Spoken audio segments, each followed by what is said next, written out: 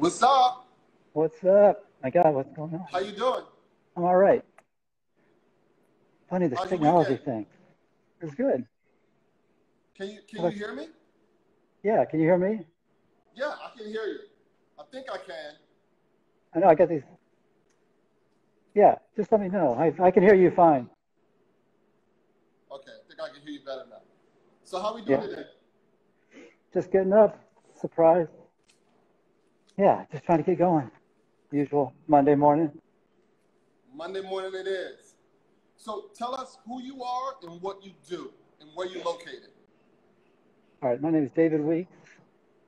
I make my primary lighting, but we also do furniture, toys, all kinds of stuff, whatever piques our interest. Okay. And um, I'm currently residing in Germantown, New York, due to the That's- COVID That's way upstate. I like that. Yeah, it's not too bad. About two hours out of the city. So And, um, is, is that your, your, your quarantine place? It's my quarantine. Yeah, exactly. Or, or is, is, is that where your shop is? It's um. No, no, it's well, it has. Well, we've been here for a long time now. It's like we got up here in March, so we've been got Okay, settled in. we'll, we'll get into that because I, I looked at buying a place in Germantown. Oh yeah, It was a, a, a dairy farm, and there was a little pond on the property, and a barn on the on the on the uh, on a on the road. oh, oh yeah, that sounds very familiar. Yeah, that was about 15, 16 years ago. It could be the same place. We've only bought it about four or five years ago. Yeah. All right, so we're gonna get into a series of questions before we get started, and then we'll get into your journey and your wonderful lighting and furniture. All right. What word or phrase do you overuse? I don't. No, as I say I don't talk enough to make a say anything overused. But, Um, um, what is your least favorite thing to do? Least favorite. Um. Yeah, get bored. I mean, it's like running out of things to do or running out of places to go. Okay. What is your most favorite thing to do? I like to be making, for sure. Very satisfied, whether it's with the family or just being in my own head. Okay. What is the one thing your spouse would like to change about you? Obsessive compulsive behavior. All right. What makes you tick? Just curiosity. I think stuff, what's, whatever's next, whatever I haven't figured out. All right. What irks you the most? What, get- what, what's me the most? What irks you the most? Politics. Right. Bad politics. Yeah, bad, bad, all bad. um, if you would have, if you were to travel cross country on a motorcycle, who would it be with? I think I'd see if Dennis Hopper would want to relive his role from from um, Easy Rider. Get the football helmets on and travel back across the country. no, no, I need a real person. A real person? Dennis Yeah, a Hopper? real person. This He's is alive, us getting to know you. It's got to be a real person. Um, who would that be? Really, the hardest question you've given me so far. Um, I don't know. Henry Winkler? Henry Winkler? A real person, man. Someone you know, not a, a, celebrity. Oh, a real person? I'm close. He and I are very tight. Say it again. no. He and I are very tight. Oh, you and Henry Winkler are tight. That, how about John Edelman? I'm sorry? John Edelman. How about that? Okay. He's- And he's a buddy of yours. Yeah, Okay. he's a. Yeah.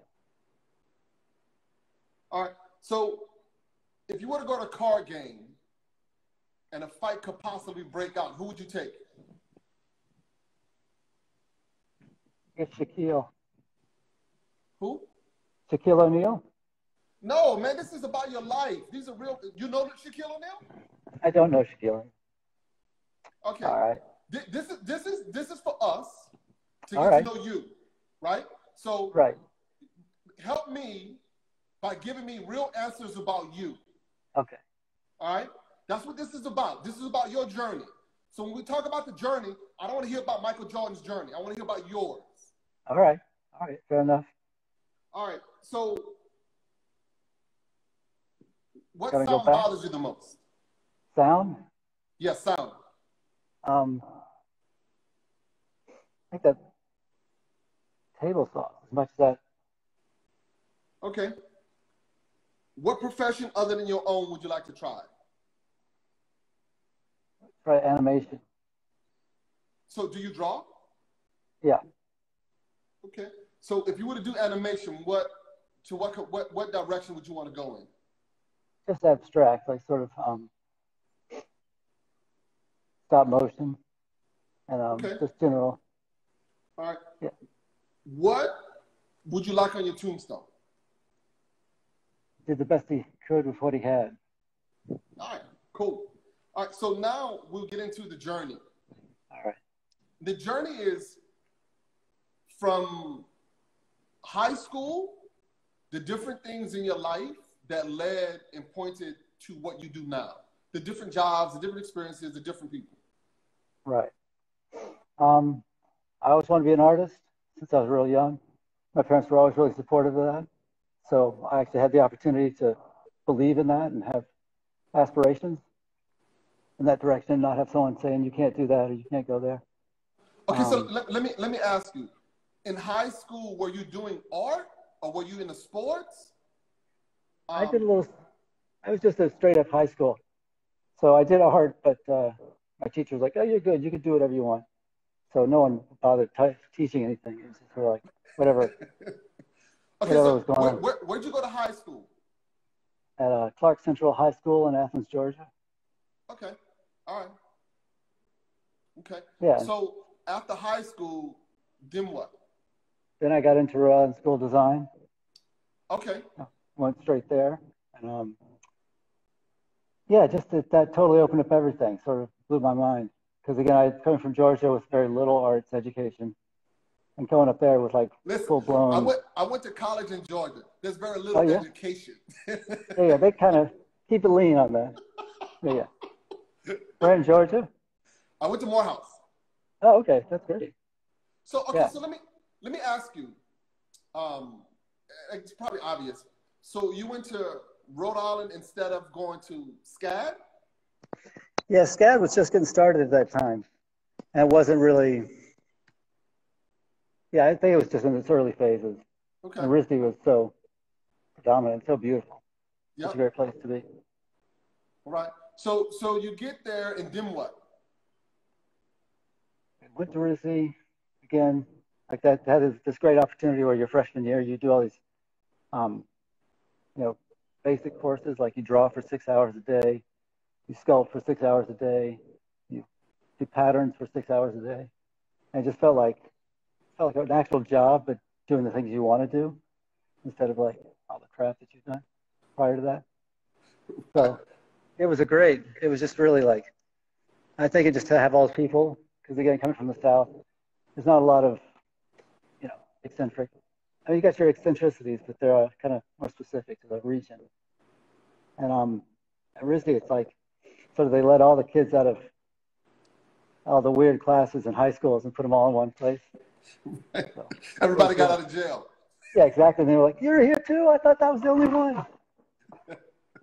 So that must have been good. Yeah, that was great. That was phenomenal. So that, that allowed you to be comfortable and be whoever you are, and that helped with your creativity. Yeah, again, it was just sort of like, like you knew how to do stuff, but you didn't. I don't know. I mean, you hadn't really blown the top off yet. You were still drawing like, oh, let me see if I can do a good drawing of a portrait or something. I can So- shade it right. So what you study? What did you end up studying? I ended up studying, um, I started in sculpture, and I ended up in painting. Okay. So, what what kind of sculpture did you start with? It was um. Am I too loud? No, no, my headphones hurt. I don't know where they. But um. Oh, first sculpture they were like um Donald Lipski or Vito Acconci or Donald Baechler or um. I don't know. It was more like those contemporary artists of the '80s that were sort of like off the the main. the What, main thing. what years were you there? from um, 86 to 90. Okay, all right. Because Peter Harrison's in here. He just came on. He he was he was there also, but I don't know when. Oh yeah, Allan Wexler. You should get him on the show too. Who? He makes a, Allan Wexler. Allan Wexler. Yeah, he's great. He's a I'll check, him, I'll, I'll check him out. Yeah, it's very cool. Like sort of Right. break down kitchens and stuff like that. Okay, cool. All right, so you you're there. You start painting. You graduate, and then what? And I went straight to New York college because it was like all kind of focused on New York at that point anyway. So yeah, we used to like sneak on the buses field trips to New York every weekend. Come down and like you know just make the best of it. All right. Peter Harrison went to RIT. I apologize. Uh, um, so, so you hop on a bus. You head to New York. Did you have a job? I um I followed my girlfriend at the time, now wife, and um Good for you. yeah yeah. So I had free rent. No no, I was paying my rent. But um um yeah no we just came down and um yeah New York was great. It was that thing where it's like you could show any sort of portfolio you wanted, and people would give you the you know sort of appreciate it. Like I remember I showed my painting portfolio to crate makers and to you know carpenters and set builders, and they were like, oh yeah you seem pretty capable. So it's kind of great that there was like it wasn't like yeah you've never done carpentry work, so what are you doing in here?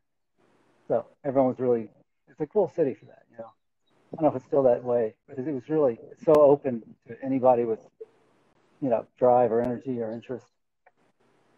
So you you went from um, Island School Design to following your girlfriend to New York to showing your portfolio to carpenters and just getting a carpenter job. So would you walk up to people who were doing a, on a building site? No, it's more like Mauricio has a good connection. I think I talked to one friend who sent me to this one guy who did set building, and he gave me a list of like ten people to call, and it was just really random. I'd walk in there and be like, "I'm here to show my portfolio," with no real connection. But um, yeah, but it, it worked out, you know. This one guy, Jim Schmidt, who made big sculptures for Ashley Bickerton and all these major artists at the time, hired me to sand aluminum, you know, and like just do sort of the down and dirty stuff. But um, So, so how long did you sand aluminum? about a year, maybe two. And I worked for this one guy who made mannequins for a while.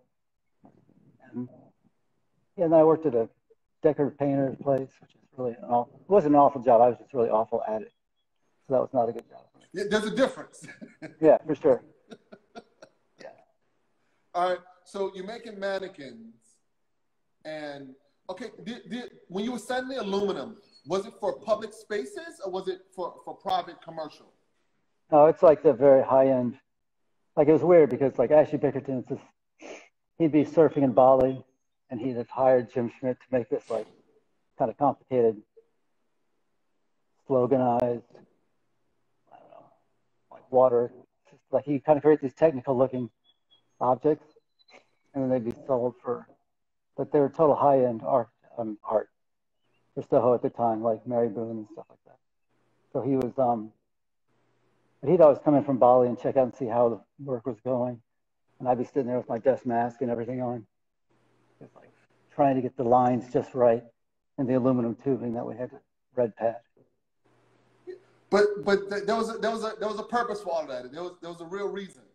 It was, and it definitely was very eye opening. And another great New York thing where you sort of got a taste of something you never thought you'd, you'd see the inside of. Right. Okay. So and then you go into mannequins. And how long did you make mannequins? That was a good job. That was actually nice. It was in this one guy's shop and a wood stove. And I'd like go in there in the morning, crank up the wood stove, and then I'd weld. There were steel mannequins, so they're basically like a hanger with a head and I, like a, a sort of creative version of a mannequin. And then that, I remember one day the city came and checked to make sure I wasn't on fire because there was so much smoke coming out of the, the wood still. But um, That, that means you didn't know how to burn the wood. You got to get it hot. I know exactly. Yeah, I was early, novice, my wood burning phase. So, did you all make mannequins from scratch? Yeah, it was just like three eighths inch tubing, and he sort of. It was really, it was actually really great because it's like he had such a simple, he had like one um, handheld bandsaw, grinder, a gas oxyacetylene tank, and a vise, and you just sort of figure out however you could bend it. And then eventually he just like, you know, let me do it on my own. And it became very cool. I'd like come up there early in the morning, get the wood stuff going, and just bend metal all day. And then he'd come in at the end of the day and check out, make sure everything's okay. So, so the mannequins were metal. Yeah, they were steel. Yeah.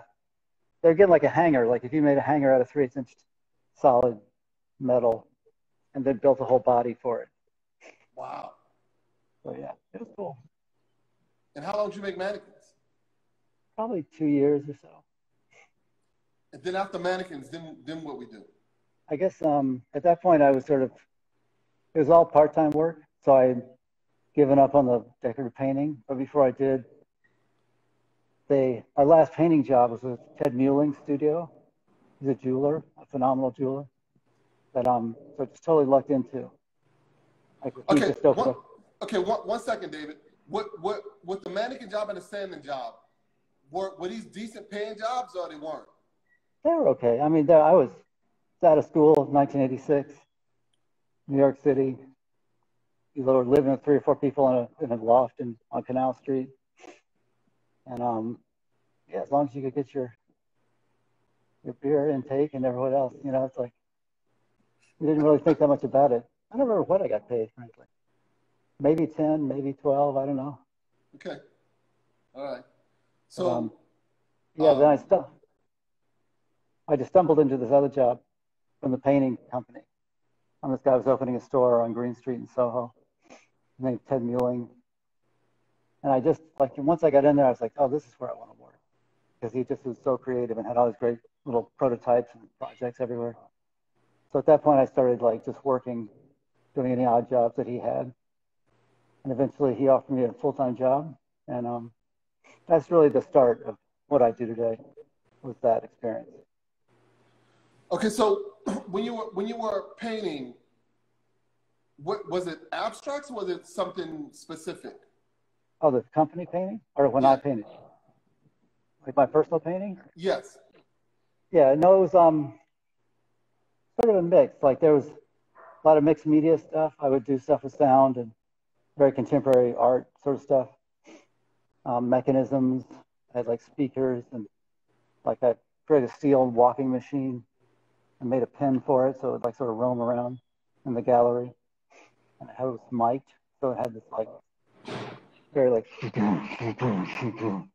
like this kind of crazy noise that would as it would move around the studio. And you and you Um, made that. Yeah, yeah, Cool. that was good.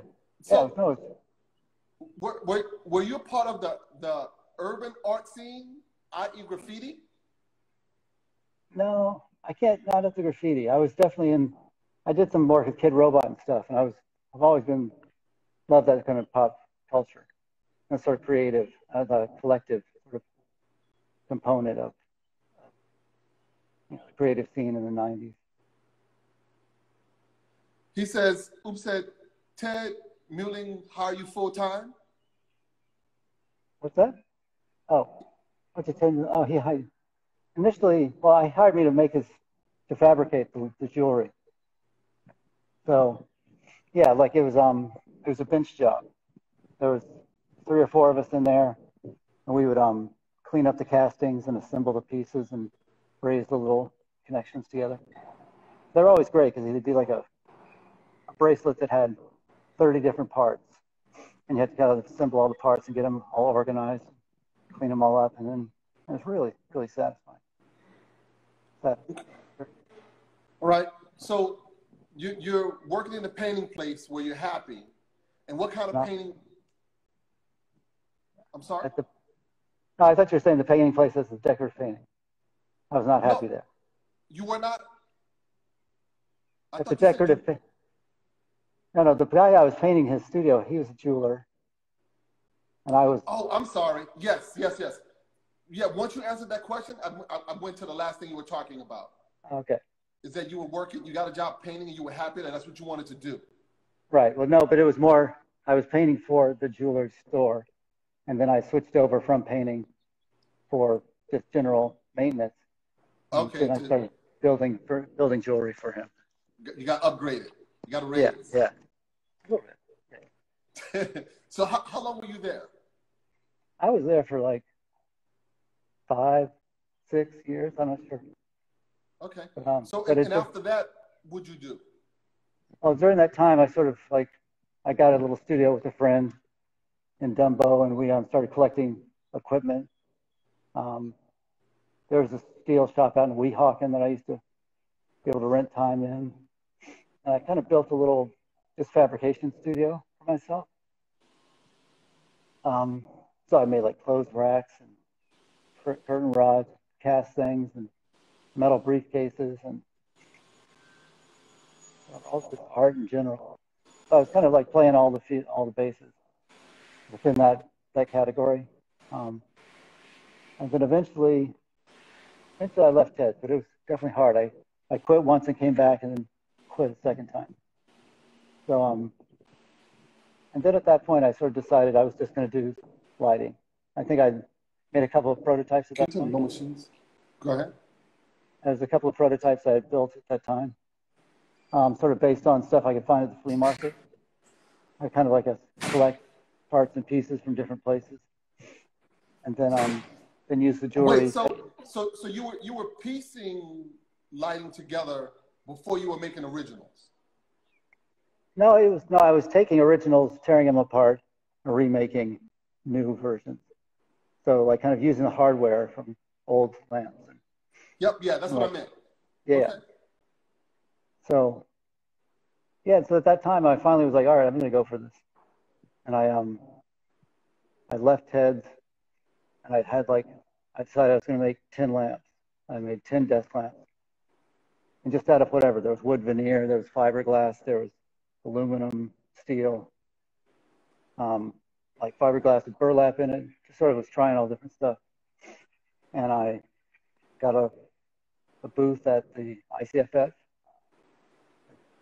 New York City Furniture Fair, and I got the the really prestigious booth right by the bathrooms. So Listen, don't hate.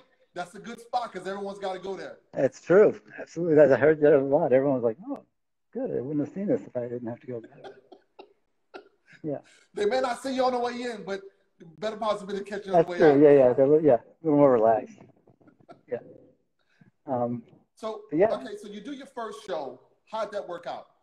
it was good. It's again another New York scenario where it's like you just kind of put stuff on a shelf and, and people can see, you know, ability and talent and vision and stuff. So a lot of people came and were like, oh, these are great. And like, I got some great commissions immediately. Like one of those commissions that you always fantasize, like in, there's some guy's redoing his Tribeca loft and he says, why don't you just do all the lighting? You're like, what? That's insane. Look, and, and that guy usually doesn't have a budget. Yeah, exactly. No, totally. And then I remember I got my check for that project. I don't remember what it was. It was like three thousand dollars or something. I was like, oh my god, I could quit now. Like you know, totally satisfied. Ready to retire, right? yeah, check that list. But, um, but yeah, it was great. And so we went back and made some of the pieces that we made for that studio are, are still in the collection. wow. So how long did you return to that show? I went back probably seven times. Well, a couple of times with different names and trying to change it up a little bit. What was your first name? Well, it started out Daily Studio, but then we did Butter, a friend of mine and I. Um, we created a different, like, sort of more low key, not low key, but like, you know, my stuff was so elaborate and really complicated and hard to build.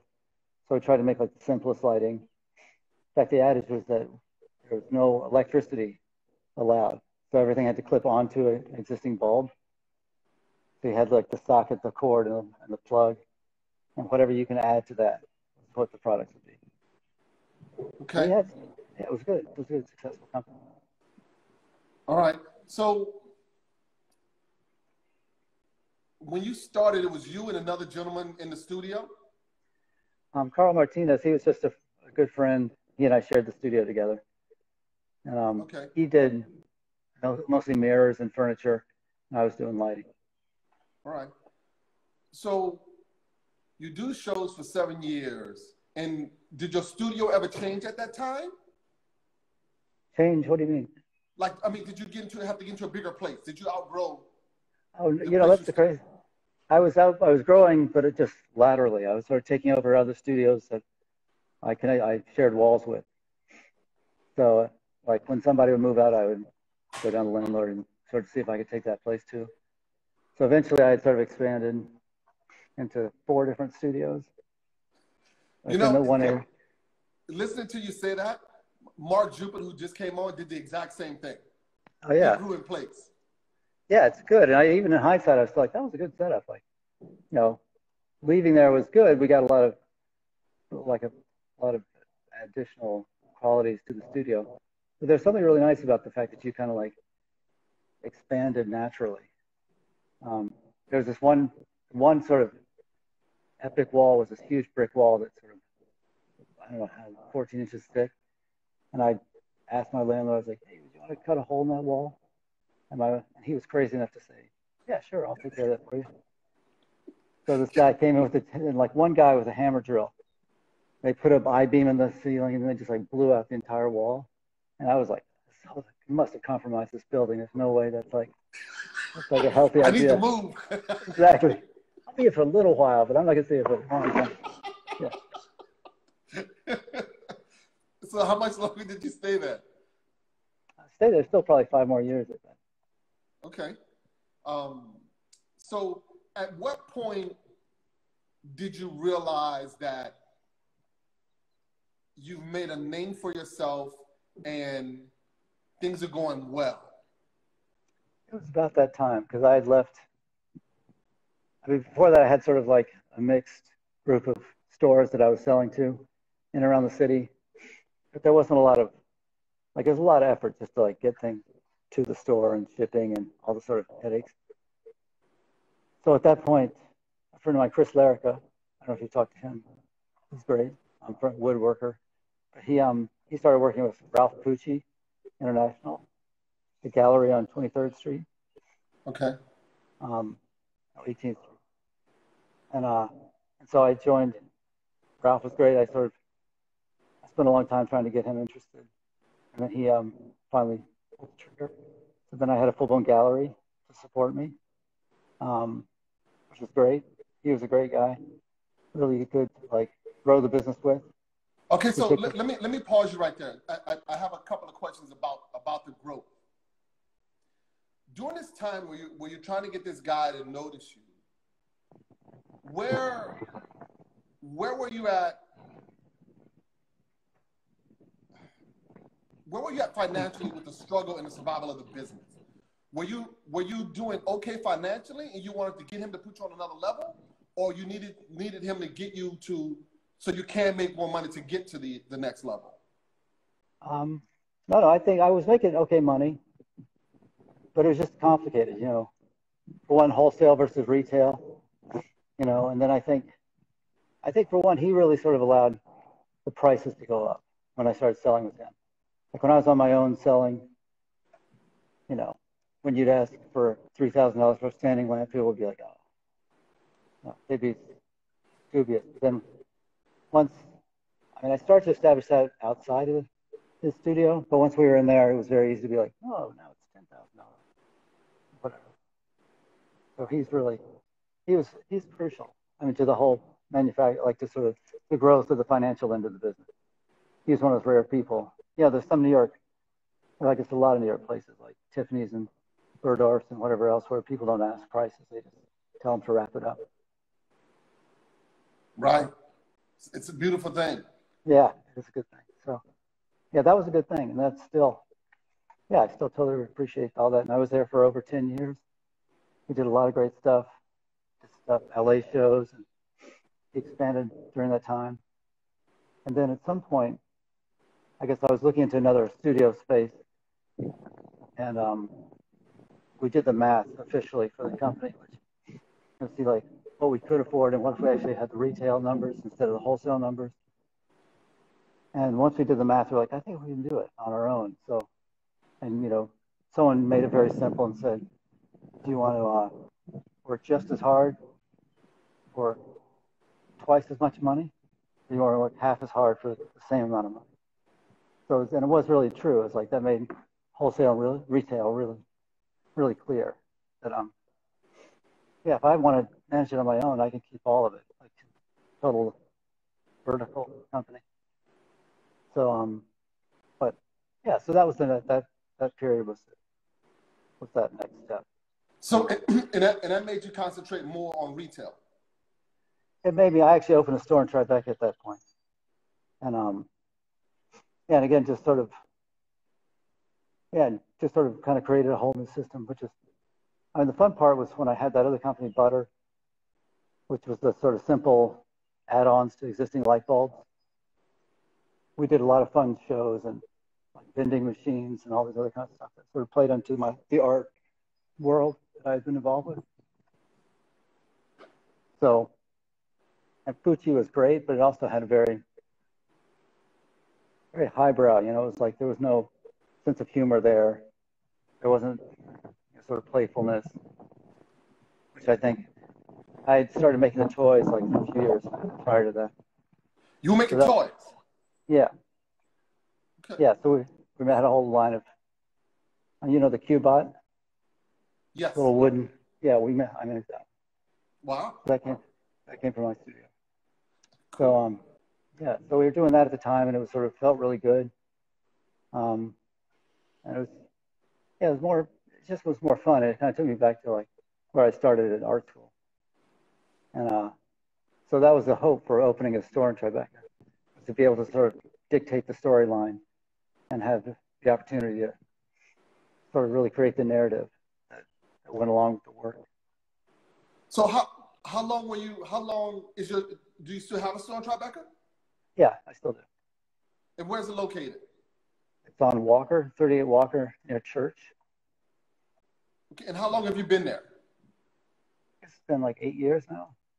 Okay, and and what is? How has the current situation affected you? It's pretty crazy. It's like my landlord's really, you know, a rare story. She's incredibly supportive, and you know, when I'm in like in this sort of situation that we're in right now, she's been really understanding. And um, yeah, we just were working it out month by month. But yeah, it's hard to know what the future holds. Yeah, I um, I said it here before. Same situation for me. I, I have a relationship with my shop landlord and my yard landlord. Right. And when I was behind, two months each. Yeah. They were like, okay, you don't have to explain to them that. Say, listen, I'm not hurting. I just I'm waiting on this job to clear, and and I'll right. be able to take care of it. And then and then we're fine. Yeah, exactly. No, we we we're all cleaned up. We're not behind on any rent or anything. But it's just um it's just hard to know like moving forward how like it's just yeah no one knows what's going on. So it's like, yeah, it's this yeah things are things are quite unstable now. You don't know yeah. what direction it's going in. I, I for some reason think that people are going to push very hard to get back to the way things were. I mean, yeah, no, they're think, doing it I mean, now, and a lot of people are getting sick. They just don't care. They just want to get back to. No, it's true. What we call normal. Yeah, capitalism must survive. Yeah. You know, it's just it's extreme. It's like, yeah, I totally agree. Yeah, and it's, it's funny. I don't know if it's just New York. I guess Florida and all the other kind states that are having real ambitious you know, sort of over, they should be taking a pause, but they're not, kind of thing. It's just getting like, yeah, I don't know what's gonna happen with that, but New York is one of those places that has its own engine. You know, it can sort of like just turn on that sort of extra gear that you didn't know it had, and create a new market or a new new Yeah, storyline. yeah, because of because of the energy and the people. And you're right. So so many of those places, you know, they thought we were crazy Yeah, by, by slowing things down the way we did, and we have you know twice as many people as those, and they went Yeah. out full blast, and now they have to backtrack. right, exactly. So puts Yeah. probably another month or two behind. Oh, exactly. And like we had, I mean, you gotta love New York also for its professionalism.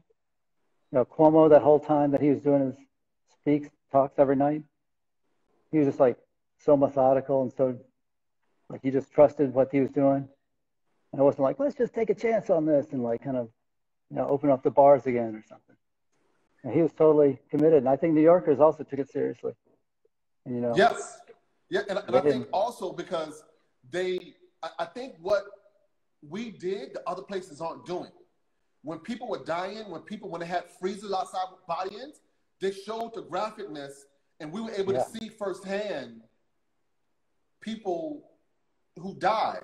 They were on the news, and then through social media, people who knew those people were like, "Oh, I knew this guy. We worked together for two Right, years, right. and now he's gone." So Yeah, it was no. very, it made it tangible. In these other places, they're not they're not covering it that way. Yeah, I think it's a good point. Like, it's sort of, yeah, to make the case clear, like, you know, make it really, you know, again, because, yeah, it's a big deal. I mean, no one wants to be sitting at home. Yeah, Like, I mean, the fact that, like, some some people do, like, appreciate the requirements and sort of stick with it. yeah, know that it'll, it will have time. right. And even those people who get sick and and recover, it still affects Right. your body. Yeah, totally. So so no one's getting away free. No, exactly. Yeah, there, there's just there different levels of of severity that that you come away with. Yeah. I mean, even, and the irresponsibility of the politics and everything. And it's sort of like a lot of the people who are just like, well, whatever. We're going to lose a few people in this one. As long as, you know, we get TJ Maxx back open, it's going to be okay. You know, And Applebee's. exactly.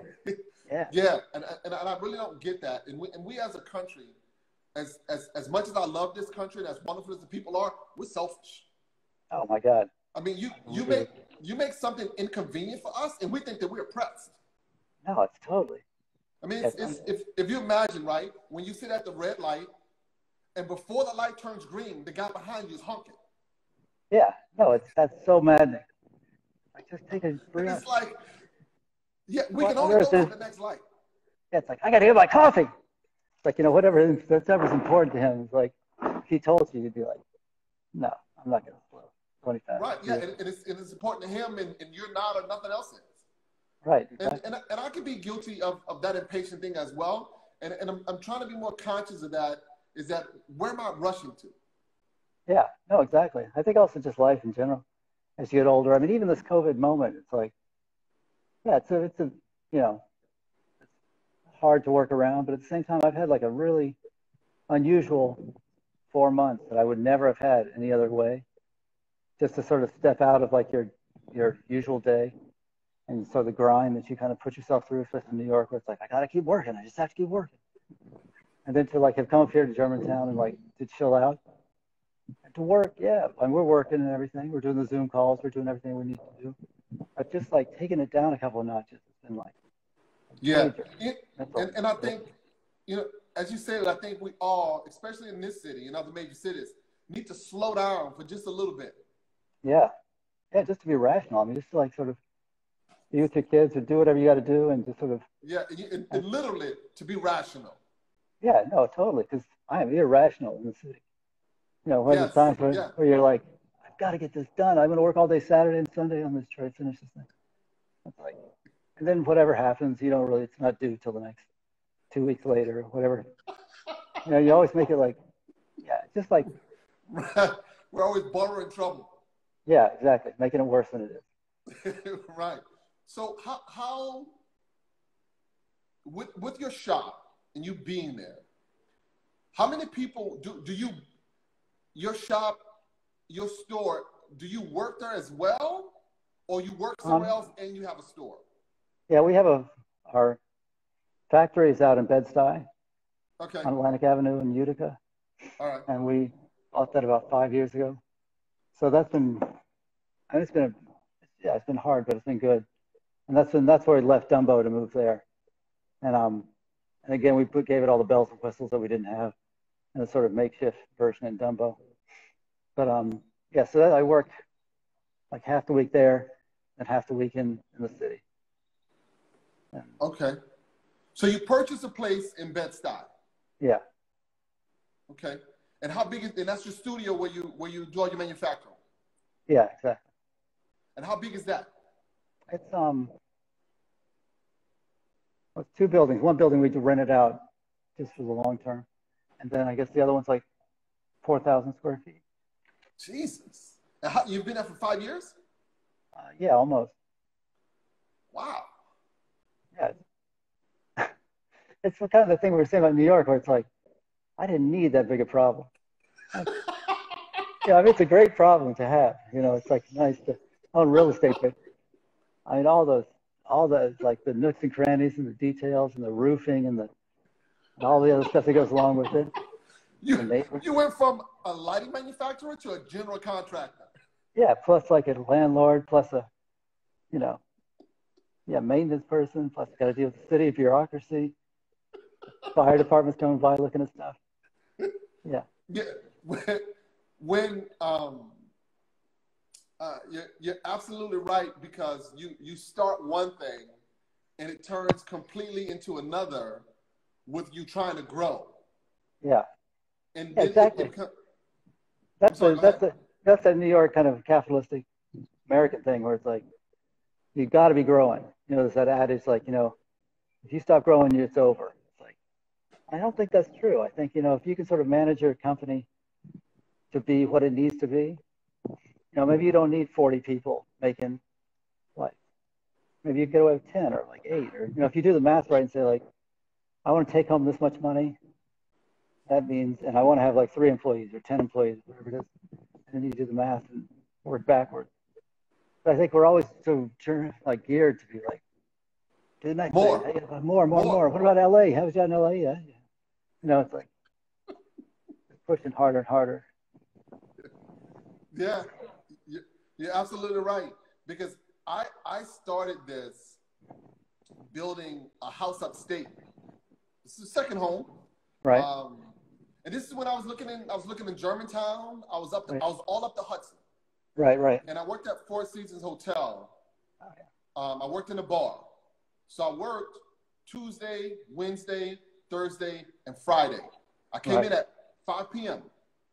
So um, I, I was had the mornings off, and the Saturday, Sunday, Monday, uh, Saturday night I would drive upstate. Sometimes I sleep in my van. Yeah. Um, I get up, I drive 100 miles, I get up, and then I drive another 100. Oh, like when you're looking for space? Well, I was looking for space. I was looking for antiques. I was looking for um, barnwood. Right. And and the, and the reason why I always drove after my one o'clock shift was because I'd be halfway there. Right. So I wake up and I only have to drive two hours to go, as opposed to waking up and having to drive four. Right. Right. Plus, I didn't have AC in the van, and at night it was cooler. so you know, I, I, I made it work. Right, right, totally. So I'm looking around, searching around, and I find this place in Liberty. Yeah. Um, which is a whole nother story. Yeah. So I, I, I, I, I get a place, and I want to put this kind of wood in it. So I had to start making it. So I went from building a house to getting lumber to getting a saw, to cutting right. wood, and here we are. Yeah, see? And you probably could like could have partnered with somebody, you probably could have like found a like outlet for that. You probably could have like but I totally I totally appreciate that. I mean I think yeah, it's that you know, that need to make things and as you learn more you want to be involved from the beginning instead of like at the end. You yeah, because now two by four at the lumber store, you're like, that's not interesting. Right. You make your own two by four, that's totally yeah, because like now, I, you know, I, I, have two sawmills, I have a kiln, I have over a million board feet of lumber, and I have crazy overhead. Yeah. So, so my thing is, I need to get back upstate, right, on 20 acres, cut my overhead in half, where I can sleep at night. Right. Yeah. And, and to your point, it's like, you know, this is the problem I didn't need. Because with that becomes, you know, I have four forklifts. I got to keep those running.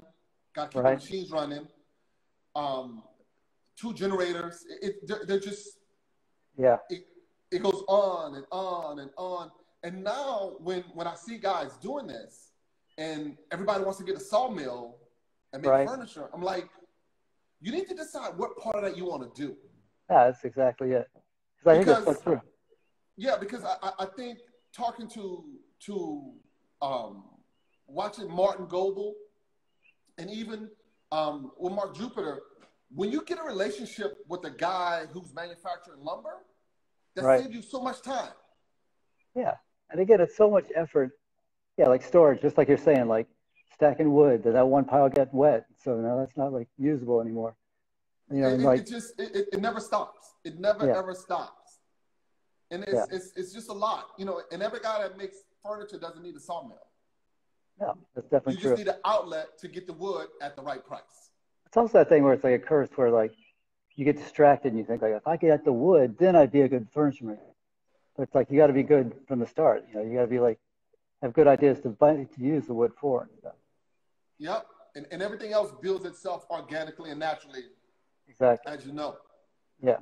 Yeah, that's that's the trick right there. Sort of finding your voice and you know your level of commitment and interest and trying to like hone that down to the exact, you know, necessity. So what what's next for you?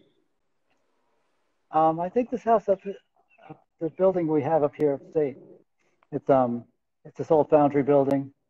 And I'm trying to figure out a way, again, based on the last few months, how I can like be up here three days a week and have like a wood shop up here and then have our metal shop in Bed-Stuy and then um figure out the retail.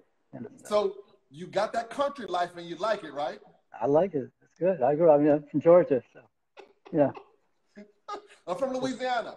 Oh yeah. So oh. There, there, there, there, there's a there's a lot to be said about slowing it down. Oh, totally, and a lot about yeah, just like this. Yeah, just not thinking too hard. It's probably not a probably a bad sign. But there's something about like, you know, just like appreciating, yeah, the afternoons or something like, you know. And also, I mean, I'm just as crazy here as I am in the city. Like I've got all these like new construction projects that I'm trying to do, along with making more lighting and more furniture. And you're just like killing yourself day in and day out when you're like, oh, why am I, you know, everywhere I go, I seem to have the same problem. And then, then you look in the mirror. yeah, exactly. Get snap out of it. That or you're just like covered with mud. You're like, what? What? um, there's a recent comment here. Um, FY Mexico, David, it's Margaret Hefner here. Nice to see and hear you. Oh, it's great. Margaret. Great. It's funny. We've never done this before. So you do this all the time? Yeah, I do it three days a week 10, Monday, Wednesday, Friday, 10 a.m. and 6 p.m. Cool. And yeah, it's with all sorts of people. I, I started out doing woodworking, and I figured because I, I follow everybody, tattoo yeah. artists, you name it. I, I, I, am interested in a lot of different things, so I follow these people. And I'm right. thinking, I'm looking at a different type of artist, and I'm thinking, wow, I bet that person has a cool story as well. Yeah. So that's oh, I think I got into all, all of it. So we'll be interviewing. We have a 6 p.m. on Wednesday. We have a baker from California. Um, we have a, a guy that makes draperies on Friday that's in uh, Canada. So it's all. No, I think it's great, and I think it's great that like you're interviewing them. So it's like your point of view and your questions, which would be very different from my point of view, my questions, and you know. Now, just, let me let me tell you the let me tell you the other thing that I want to do that we're we're starting to do. Um, we did it once with with uh, Jack English and uh, in Taylor Dunsker, but what I want to do is start having other people come on and communicate with people that they know. Right. Because it's a completely different dynamic than me doing it. Yeah. Like the, the, the people you mentioned are people you know. So you talking to them about business and experiences is probably a lot more in depth than me asking general questions because you all have experiences in a relationship. No, it's true. I mean, we've all got our own sort of strengths and our, and our you know, knowledge bases. Yeah, I, I, agree. I always wanted to do. Did you ever see that movie um, by Jim Jarmusch, Coffee and Cigarettes? No. And he gets like Iggy Pop and Tom Waits to have lunch together. And then he has I can't remember the other people in the movie, but it's kind of thing of like I would watch that every week. If like if you could have like two good people having lunch together, sort of like dinner with Andre kind of moment, where it's like you sort of hear like two really smart people's point of view on anything, everything that they're thinking about. Right. Yeah. So okay. So my question to you is, who would you want to have a conversation with? I would like Tom Waits would be pretty great, but I know, I know, I guess. But you go back to uh, I don't know. There's so many people to be really great to talk to. You know, designers, but I mean, musicians and like job. Have you watched that um that Rick Rubin Shangri La documentary? Yeah. That guy, I totally love talking to him. LL Cool J was on that in that same thing, and he was like totally. Yeah, they, they kind of interesting. Yeah, Those two talking yeah, together. Kinda, they kind of built it together.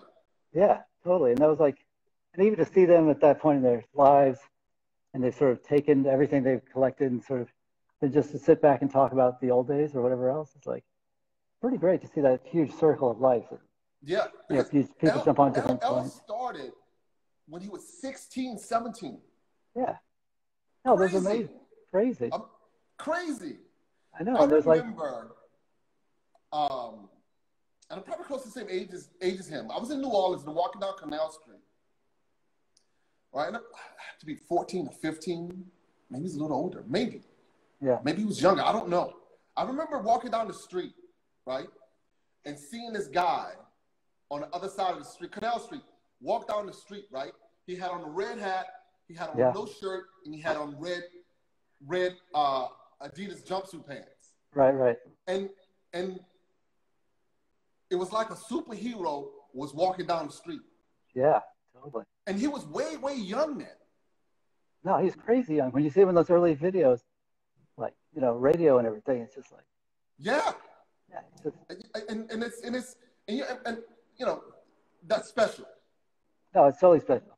And, and the crazy thing about it is, most people now, you know, the younger people don't even know he rapped. No, it's true, and it's sort of sad because someone was like, "Oh, what's your old?" rap?" And you feel like if you said LL Cool J, people would be like, "Ooh, boring old man." Like you know, it's like, oh man, that guy is like off the hook. Mama said, "Knock you out" was like unbelievable. Yes. Like not, not even one curse word on that album. It's like still so much harder than Yes, album. he, he was he was the hardest rapper and the best looking. He he was he did all that stuff way before anybody ever did it. Yeah, and he was obviously just like so, like had a great perception of everything because he didn't get dragged down by you know celebrity, and he had a good sense Yeah. of humor. And he sort of Yeah. Yeah. there's some great and, albums. And he was a great battle rapper. Yeah, no, it was just like the intensity he brought to every every line was totally, yeah, totally satisfying. I still listen to that. Yeah, Yeah, the- uh, yeah. Rock the Cool. bells. I need a radio. Uh, just a whole bit. Yeah, totally. Absolutely amazing. Jingling baby. There's so many good songs. Yeah, it is. Cheesy Okay, rat. so, so wait a second. You were in New York when, when all of this was starting. Yeah. No, I think we um I was actually I think we were a couple of years behind, but yeah, it was amazing that we were like I mean, I remember going down there in eighty six and being so excited about seeing stuff and you know and like watching a Yo MTV Raps, you know, back in Providence and then going going down to Ludlow Street, trying to get your triple fat goose and like you know, sort of you know, be a part of that whole scene. So, yeah, it you was know, great. that- exactly. And, and there was something about the way they showed New York that made you want to be there. Yeah, totally. Fab Five Freddy. And, yeah, it was just like all these like, yeah, because you feel like they woke all those rappers up. Like, you know, it felt like you it was like way too early for them when that show was being filmed. You know, it's always like, oh, whatever, yeah, you know, just like, yeah. Yeah. it was great. And and did you ever go to any of those early concerts? I mean, just like the usual, yeah, Run DMC and Cool J and Public Enemy, those guys. Like that was the period that we were, Wow. yeah, they were, they were awesome. And they were like, saw them several times. Flash, Melle Mel. Yeah, I never saw them, sadly. That's a, that that was a little error that I think we were I was a little behind on. Yes. um, But we had um actually the delivery guy who Anthony, who um, he does all deliveries for the, the studio. He grew up in the South Bronx, and he was a DJ. And I kind of put it together one day. I was like, "Wait, you were a DJ in the South Bronx in like the late '80s? That's crazy." And then after he and he one then he told me like, "I think I'm just throwing all my records because I don't ever listen to them anymore." And I was like, "Are you insane?" Like, so he brought all the re- all the records over to the studio, and I still have them. Like, I still got like all these like extended singles, everybody, you know, Dougie Fresh, all this like it's like a huge, great collection that just sort of appeared on my doorstep. I'm so thankful for it. And, and his records. Do you have a record? Yeah, you play them? Yeah, no, it's the fun thing about being upstate too. It's like it's kind of like yeah, you do the whole record thing. You listen to that one extended remix of whatever, Rock the Bells, and then you flip it over and listen to whatever else. Okay, okay. Let, let me let me ask you. We have a minute and thirty seconds. Now, All right. the way this works, we can get off and we can get back on to talk more, or you can enjoy your country life. It's, it's your call. Um, what time is it? What's the actual time? Time? It's eleven fifty. It's ten fifty nine right now. I don't know. Maybe we should call it.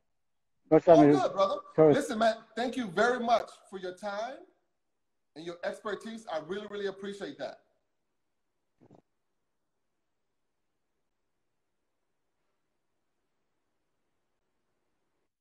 Hello. It's a great conversation. It's a really great talking to you. Mhm. Same here. Uh-huh. Thank you. All right. We'll have to talk to you. All right. Thank you. Yeah. All right. Good day. Yeah. yeah. Mm.